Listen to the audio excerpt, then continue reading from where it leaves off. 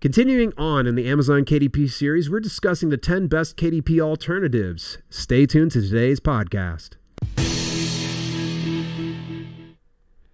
What's going on? This is Dale here, and I'm just tickled to death. You took a little bit of time out your day to spend a little bit of time with me to talk about my favorite thing in self publishing.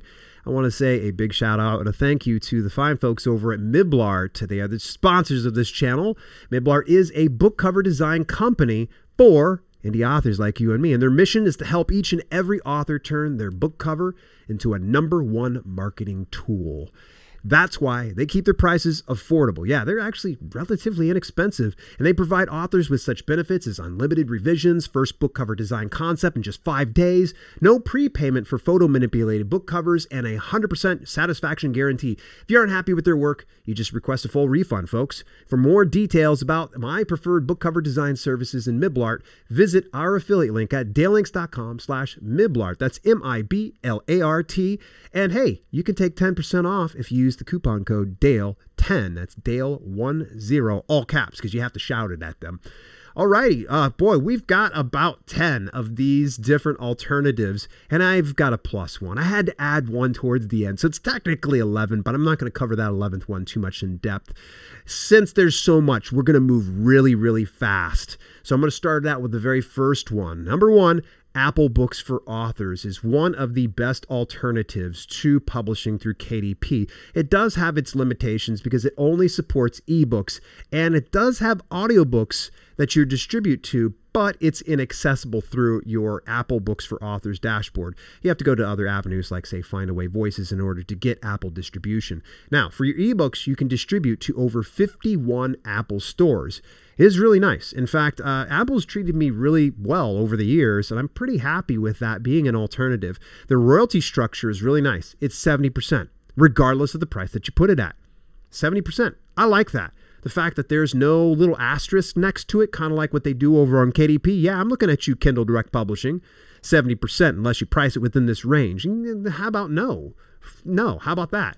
But the pros and cons, let's discuss those. The pros of Apple Books for Authors is now accessible to all people. It used to require access to Mac products or a Mac cloud of some sort. Either way, it was like anybody had PCs, you're just kind of like, I can't publish over there. Why not? Uh, yeah. So, and also the other pro that they have, they just recently rolled out some advertising options that authors can look into. And uh, I have yet to play with that, but I think it's a plus the fact that you can be able to advertise your book. Now, the cons over on Apple Books for Authors is there's way too much friction, way too much. There's two individual like accounts that you have to have open, Apple Books for Authors, and then you have to I think have to have iConnect or iTunes Connect or something like that. You have to have these two different dashboards. It's just so confusing. Can't they just merge that stuff all into one place? I it's it's just yeah, it's whatever. All right, number 2, Barnes and Noble Press. Now, they support ebooks and print books. Now, they also have audiobooks available on their platform, but again, much like Apple, it's inaccessible. The distribution reach is 12 regions for ebooks. Really good. Like all the Barnes and Noble places, we get to reach on into there. Print book, it's US only. So if you're looking to get your print book put everywhere throughout the world through Barnes and Noble Press, sorry to say, it just doesn't work that way. Now, the royalty structure for them, you have ebooks for 70%, no asterisk. Hello, KDP. Yeah, can we get with the program? You're going to sense a little bit of a pattern, and I'm going to stop drilling down into that. It's probably not nice for me to, to poke the bear. So for print books, you get 55% minus print fees, which is not too bad. Now, the pros and cons for Barnes & Noble Press is their print quality is excellent. Now, I've heard some people argue with me on this one, so this is just my opinion. I really like their print quality, and they have tons of options. I mean, it just it seems limitless the amount of options you can do for print. Now, the cons, I already kind of mentioned it. You can only get distribution for your print books in the US only. I really wish Barnes and Noble would open that option up globally speaking because I think that everyone would probably win in the process of doing that. Number three is Google Play Books. Now, Google Play Books is one that not too many people are tapping into. And it's kind of crazy because the world's most used search engine in Google is offering you a place to distribute your book. Now, they only do ebooks. And again, Audiobooks are inaccessible except for the new option that they have for artificial intelligence narration. Now, if you want to go ahead and distribute audiobooks through your Google Play's dash, uh, Playbooks dashboard, then you have to use the AI narration. I have not seen the ability to upload directly to there. You have to find other avenues, much like the last two options, through, like, say, Findaway Voices that you can get Google Play Books. Now, the distribution reach is really nice because it's over 70 regions. Anywhere that Google reaches, you're going to be able to reach. Now, the royalty structure, 70%. cough, cough. Yeah, that's that's that's. I'm looking at you, Amazon KDP. I, I, all right, I'm, I'm done on that. I'm done. Uh, so the pros when it comes to this avenue is it's got wide reach, super wide. I mean, come on, 70, what over 70 regions? What what what is this? And here's the beauty of it. This is the best part. Not many people realize this. You know how you have a look inside feature over on Amazon that people can kind of click open and it shows typically 10%, the first 10% of your book to customers so they can make an informed purchase. Now, you get the same ability for sampling. Now, if you just leave it go and let Google Play Books just handle all that for you, it'll typically just get 10%. Put it on there. You can control that sample content. And here's the best part they index that text so it makes your book more discoverable. I found this out a number of years ago through one of my fitness publications called the Chest and Arms Workout Plan. And in the Chest and Arms Workout Plan, I just allowed for 10% the very first part. For whatever reason, that thing started getting downloads like crazy. I was like, what is going on? And then I studied what I did in the front portion of it, the front matter, the introduction and everything. And I'm like, oh my gosh, it was keyword rich. I was didn't realize when I was writing this that it was SEO. It was search engine optimized. Really, really cool. Now, there's cons when it comes to Google Play Books. It's got a clunky user interface. The, the, the user interface leaves something to be desired they're improving it slowly but surely. I, hopefully, they don't make the same mistake that some of other self publishing companies make when they try to change everything drastically and then it messes everything up in the meantime. Number four, Kobo Writing Life. Now, Kobo Writing Life supports ebooks and audiobooks, with no exception on the audiobooks. Now, the distribution reach for ebooks 14 regions plus 22, or excuse me, 14 regions with 22 platforms individually. And they also have direct distribution to Overdrive. Now, this is kind of nice because getting Overdrive distribution means you should be able to get into libraries. And the fact that you can use Overdrive via Kobo Kobo doesn't take any type of aggregate fee. In other words, they're not going to say, okay, we're going to take 10% because you're doing it through us. They literally just give you 100% of the profits. I think that's kind of cool. Audiobooks, they have six major regions plus four distribution sites. Now, when it comes to royalty structure, their ebooks are 70%, no asterisk. Audiobooks, eh, it's okay. It's good. It's definitely better than ACX, in my opinion. 35% royalties for audiobooks priced $2.99 or lower, or 45% royalties for audiobooks priced over $2.99. So uh, they, the, I think everybody can kind of figure it out. Just price your books above $2.99. Now, the pros and cons. Now, the pros when it comes to this platform is it's clean. They have an intuitive user interface. It's actually one of my absolute favorites of all publishing platforms, even being out KDP. And also, they have Kobo Plus, which essentially Kobo Plus is their answer to Kindle Unlimited. But the nice thing is, unlike Kindle Unlimited, you don't have to be exclusive to Kobo to utilize Kobo Plus. People can check out your book and you're going to get paid for that. All right, now the cons the audiobook royalties. I I really wish audiobook royalties were considerably more. Maybe I just don't have a good understanding of what it costs to distribute and host those type of things with audiobooks. But man, 45%, that's the best we've got so far. Oh man, what do we got to do to get those numbers better? Now, number 5, Blurb. They're an aggregate publisher. This means that they will go ahead and publish to many platforms on your behalf. They support ebooks and print books. Now, they are known for stellar print quality, but at a higher base cost, meaning that it's going to cost a considerable amount more. And uh, I'll tell you though, the quality is really good. I when I ordered a proof, I was like, "Wow, this is good." Now they have tons of trim sizes and print options, and this includes paperback and hardcover. The distribution reach is nothing to write home about. It's about six different avenues. This includes Blurb, Apple Bookstore, Google Play Bookstore, Kobo, Amazon, and also an API integration you can put into your website. The royalty structure is ebooks. You get 100% of net profits, but there is a setup cost for ebooks. With print books, still unanswered. Don't know this. I don't know why. Like, we can't just see that like in a public space. So, Blurb, please update your FAQs. Get that stuff put in order because it seems to me like a lot of people are probably wondering what kind of royalty am I getting? Oh, it's I don't know. So the pros, the pros of this, higher quality print. Love it. Cons, they have a higher base cost and a little bit of redundant reach. Be careful when you're using some of these avenues. You do not want to duplicate publish. So since Blurb reaches Amazon, you want to deselect that avenue through Blurb because if you're using Amazon already and then Blurb tries to go there, it's going to have two of your books up rather than one, and it creates a lot of market confusion. So, this rule, apply it going forward because I'm going to be mentioning a lot of aggregate publishers. And speaking of, number six, Lulu, former sponsors of this channel. Uh, big shout out to Chelsea Bennett. She's just such a sweetheart. Um, any rates, they actually support ebooks and a variety of print books. I mean, tons of options in print books, more than you can think of. Like spiral bound notebooks, I think is kind of cool. Now, the distribution reach is about five, much like Blurb.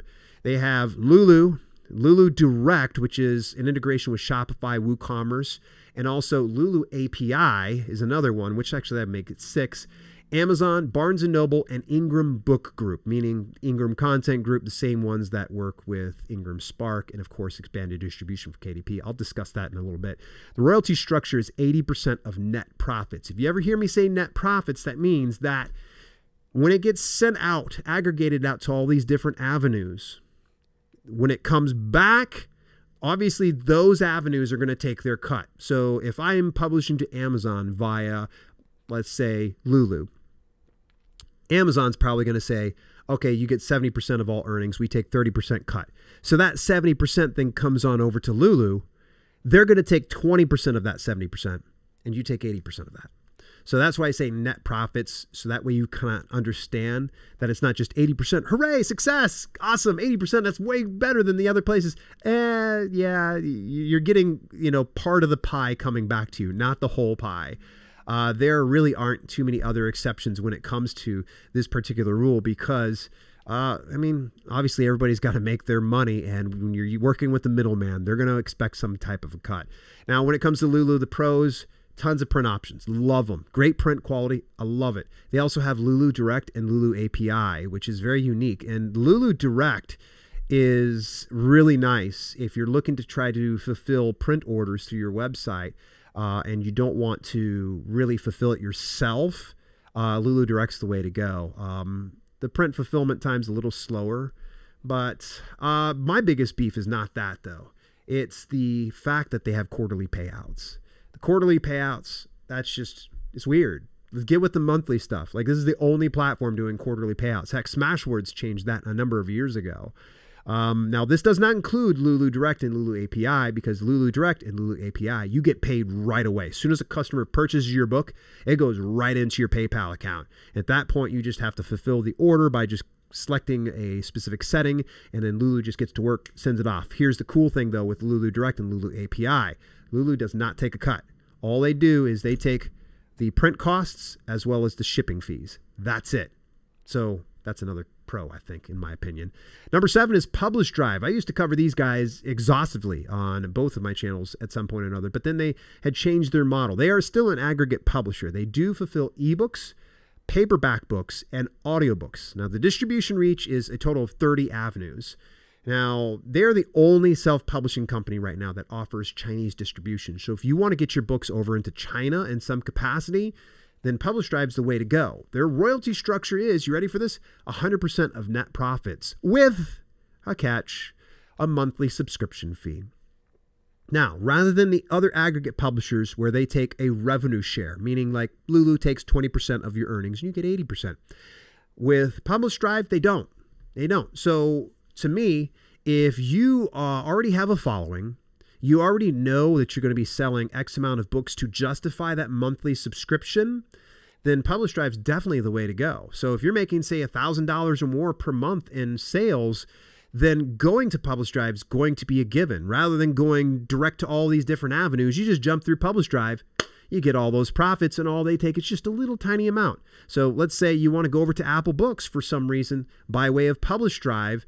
All you're going to need to worry about is Apple's still going to take their cut, but all you're going to get is that 100% of the net profits, and you have it all in one dashboard as opposed to 50,000 different dashboards. Now, the pros for this it's great for established authors and publishing imprints who can justify the monthly subscription fees. Now, the cons are these obscure avenues that they hit, are they worth the extra hassle? I found that when I was trying to delist with some of the sites, they were super slow. And it was like these random like like sites I've never heard of. You know, your mom's ebooks.com or something like that. Like, I don't know if that's a legit one, but it, it, as an example, I was like, okay, I need to delist this because I wanted to go to Kindle Unlimited and, you know, go back to exclusive to that platform. Well, I had to wait weeks because these distributors were taking forever. Are they worth it? I, I don't know. It's going to be up to you. Number eight, StreetLib. They're another aggregate publisher. They uh, do ebooks and more recently included print books. Their distribution reach includes over 50 online retailers, digital libraries, and subscription apps reaching over 250 outlets and over 50,000 consumer points worldwide. Wow. Uh, so StreetLib has been slowly but surely tweaking their platform. It's really proved promising. The royalty structure is 60%. Now, most ebook stores are going to take 30%, and then StreetLib is going to take 10% revenue. So that's not 60% of net profits, it's a 60% period. So some exceptions, you know, that include Google Play and Kobo. You know, taken from print sale, they do about 51% for the store, 10% for StreetLib and printing costs. They also have an online earnings calculator, and uh, keep in mind that they have very strict and specific guidelines for the print specs. Now, the pros and cons for StreetLib, uh, they're somewhat a new option. Uh, they've been around for a little while, but they're still relatively new to me. They're constantly growing. I'm getting, you know, weekly updates and it's so cool to see what they're doing. The cons, well, they're still new and unexplored territory for me. So I can't weigh in one way or the other on StreetLib, but I'm very uh, hopefully optimistic. Now, number nine, Draft2Digital, aggregate publisher. Love me some Draft2Digital. I was just talking about this before I even went uh, into the podcast recording. This is going to include the platform of Smashwords since it more recently merged with Draft2Digital. Now, they support ebooks and paperback books. The distribution reaches over 17 avenues, including library distribution for ebooks. Now, print book distribution is a little bit more limited. You get Amazon and you get Ingram. All right. So if you happen to be going through Amazon or Ingram at all, using print probably doesn't make much sense. Although I hear a lot of people swear by the print feature. If you do not have print yet over on Draft2Digital, just ask for it. Reach out to the support team and say, hey, could I get access to it? I think it's still somewhat in beta, but I think it's like, do you have a pulse? Okay, great. As long as you ask for it, they typically will just give it to you. Now, the royalty structure for ebooks, you get 90% of net profits. Now, this varies per avenue, by the way. Usually shakes out to like, say, 60% of the ebook list price. And that means like when everybody takes that. So 90% of net profits, let's just keep it simple so that way nobody's getting confused. Now, paperbacks is 45% minus print costs. It's not the best. It's not one that I would easily stomach, but here we are pros and cons. Now, pros, the Smashwords merge. I think that's so cool. The Smashwords storefront's amazing. Um, the Books2Read tool that they have, which will get you universal book links, and you can even put your store ID for Amazon Associates. I think that's cool. Cons, well, they don't play with account holders banned on Amazon. So if you got banned on Amazon, don't go to Draft2Digital. They don't want to. They don't want to mess with you. Like seriously, if you've you've been scamming your way, you think I'm going to go to Draft2Digital. Yeah, they're going to catch you. Number ten, Last but not least is Ingram Spark, the biggest aggregate publisher there is. They do ebooks and print books. Their distribution reach includes six regions and 36 different distributors. In fact, they boast over 40,000 plus retailers and libraries. what are those avenues? Don't know. Don't know. They, will tell you some of the main ones, like, you know, Apple and Barnes and Noble and Kobo and all that stuff, but they won't tell you those other ones. And I think that that's just never been one that settles well with me. But and it's also an all or nothing situation. You either go with all the avenues or you don't go with them at all. Now, the royalty structure ebook is 40% of net profits, and print books, it's variable between 45% to 65% minus print fees. It's up to you to set that wholesale discount.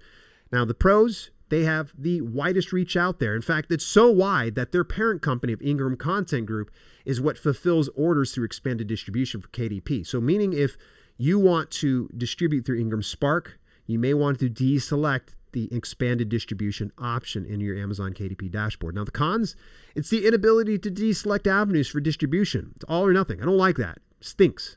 Now, a real quick honorable mention because I know we're getting towards the 20 minute spot here. Um, Tablo. Tablo is another aggregate publisher. Um, I'm just not going to dive too deep into them. They're an Australian company, and I reached out to them more recently, and we just haven't had a chance to sit down and chat about their uh, their uh, options. And Tablo though works very similar to something like Publish Drive, where you're paying a yearly subscription fee for distribution. Um, I see nothing but good words about ta- Tablo, so take a look at them. That's T A B L O. Now, speaking of spelling out things, I want to, of course, give a big shout out to our sponsors, Miblart. Another thing that makes Miblart different from their competitors is they provide authors with book cover designs for free. Yeah, for free if you want to envision your book cover before making an order. Miblart's designers always analyze the genre, always, and they market to make sure the book cover will fit the genre. Yeah, because some of us authors out there, we get a little bit, you know, our, our design briefs get a little bit lengthy and we get a little too much. Yeah, here's the cool thing. You just send it on over there and they set up the book cover design according to the genre and the reader's expectations. Go over to dalelinks.com slash miblart to get yourself cover design today and also use the coupon code of Dale10 to get 10% off. That is dalelinks.com slash miblart. That's M-I-B-L-A-R-T. Final thoughts, folks, when it comes to looking into these alternatives to Amazon KDP. Diversify your reach. Test out new markets. But one of the things I'm just going to encourage you is pay attention to where you're distributing and where that distribution goes to because you want to avoid duplicate distribution. As you can imagine, a platform like Amazon doesn't want to have three versions of the same book on their platform. It's not kosher to them. Next week, folks, we're continuing on in the Amazon KDP series and start to kind of wrap it up slightly here with the 10 best Amazon KDP resources and channels. Hey, to get advanced access to all podcasts, visit dalelinks.com slash YouTube podcast one week before the audio content publishes. Yeah, we're here every Monday, 12.15 p.m. Eastern Daytime on the YouTube podcast channel. In the meantime, it's been Self-Publishing with Dale, and I will chat with you next week. Hey, thanks so much for tuning in. Special shout out to my channel members for both the podcast channel and the main channel. Without your support, some projects we do at Self Publishing with Dale would be much harder to fund. If you want to contribute to the cause, visit dalelinks.com slash memberships for details and get your on-screen shout out at the end of each broadcast. Till later, this has been Self Publishing with Dale, and I'll see you soon.